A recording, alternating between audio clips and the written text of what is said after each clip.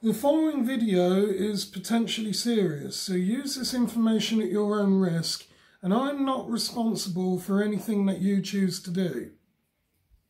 Get strong.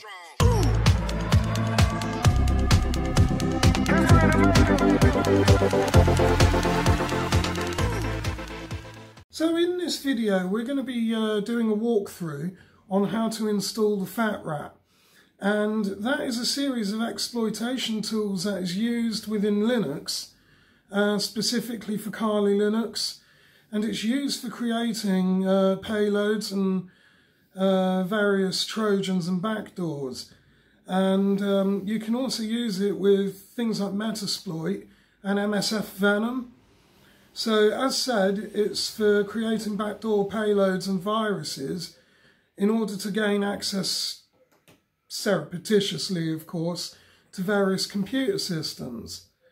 Now, I'm going to walk you through on how to install it and we'll take you up to first run. But it is important to know that these tools are quite serious. So exercise extreme caution with that and just think before you type and think before you do anything.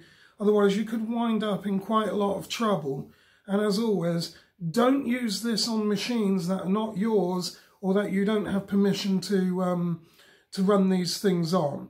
And as always, I hope you enjoy the video.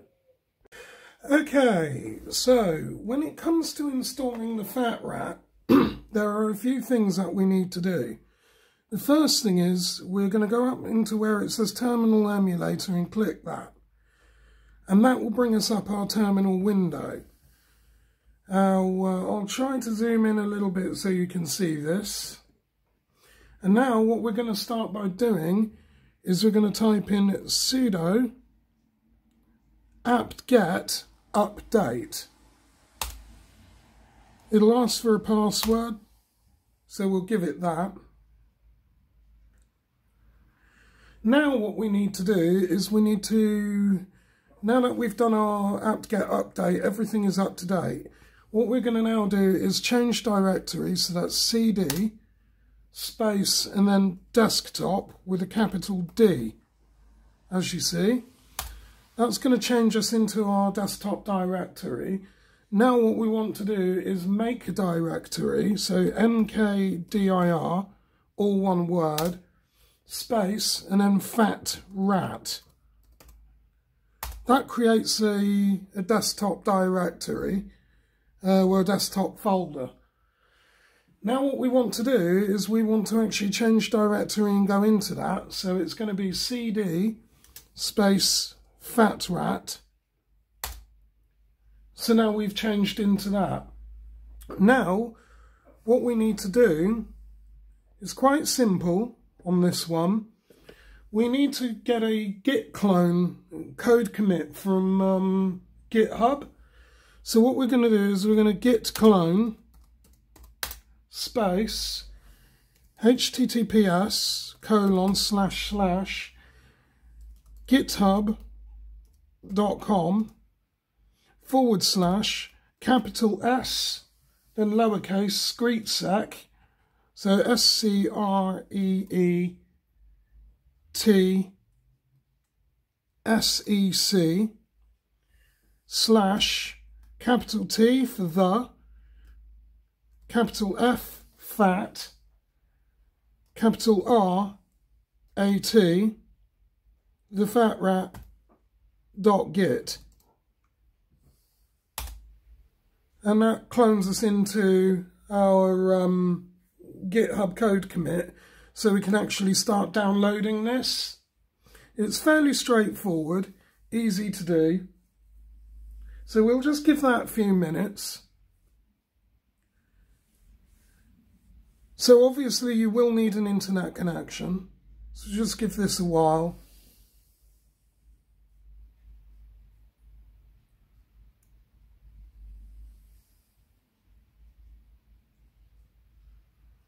So we're just waiting for a bit on that.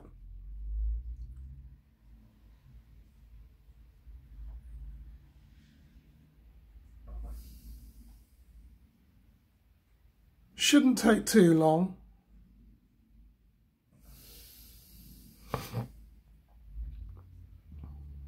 Uh, sort of around 84% here on this. So it's still going. Once this is done, then what we'll need to do is change into that directory, which would be cd the fat rat. Then it's ls and then chmod plus x setup dot sh. And then we would need to uh, parent directory and setup dot sh. I'll show you how to do all of that anyway. So it's just resolving deltas, that's done that. So what we're now going to do is we're going to change into the directory of fat rats. It's cd space the fat rat. That's got us into there. Now we want ls. That gives us our list of um, our files and directories within that parent directory. Now what we want is chmod space plus x space setup dot sh and then we hit enter on that.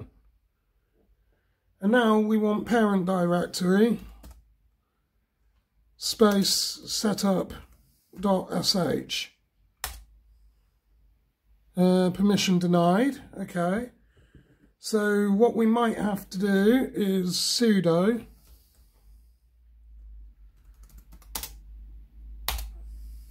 uh, command not found. Why is that? Ah, there we are. It didn't put a space in it. So you just remove the space, so it's dot slash then setup dot sh. And now we just wait for this to do its thing.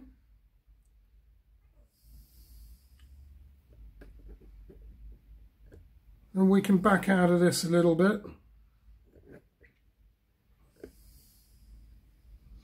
So all it's doing here is just checking our necessary packages with current repo. So that's our repositories there.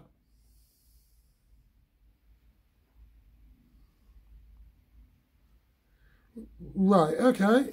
And just enter to continue setup. And it's looking like it's doing that. Now we don't have Xterm installed, but that will install it for us. So the fat rat detected an incorrect version of MINGW installed. Do you wish to remove it and install the appropriate one? So we're just going to type yes for that. We'll zoom in so you can see that.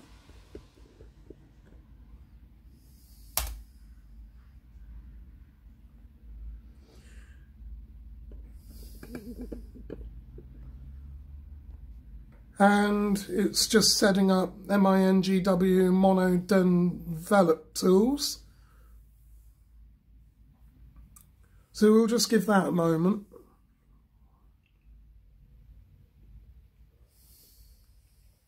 As I said, we're doing this in real time, so you can follow along anyway. If you're not sure of anything, just pause and rewind if you have to. And yeah, you might want to elect to grab coffee at this stage as well, because it can take a while.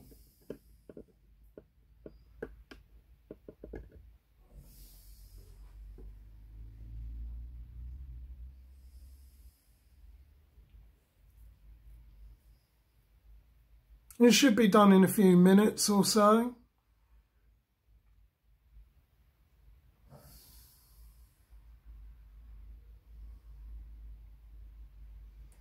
So we're just waiting for that to, to complete.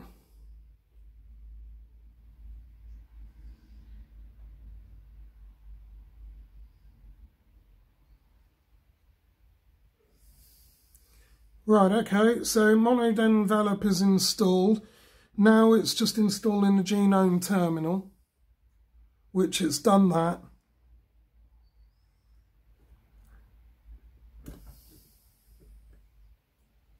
So we can just sort of zoom in a little bit there. This is all perfectly nominal, all fine.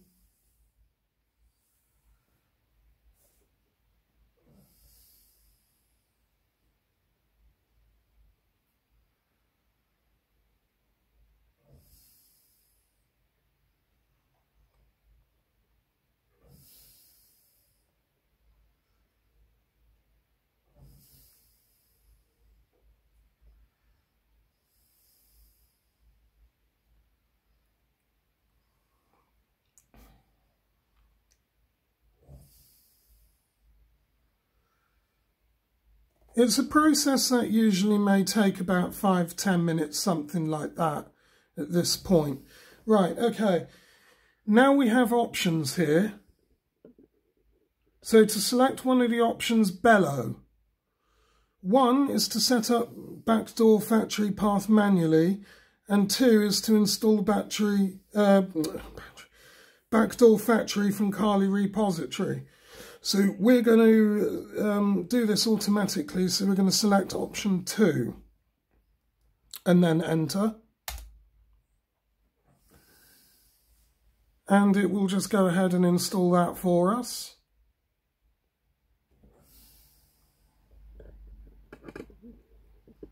It's just updating the repositories in a repo. Right, okay.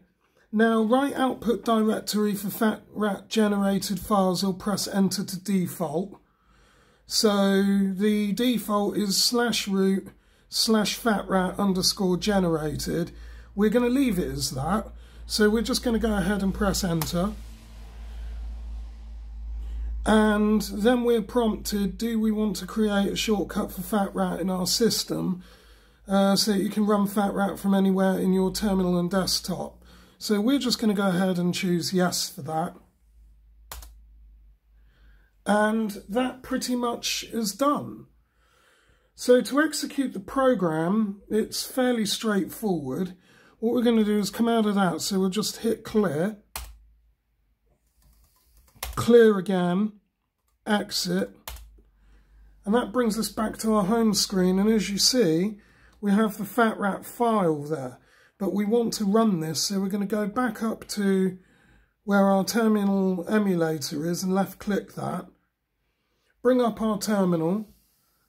And then all we need to do is just type fat rat. And it tells us that we must be root. So clear that. And then sudo sudo space fat rat and it will prompt us for our password.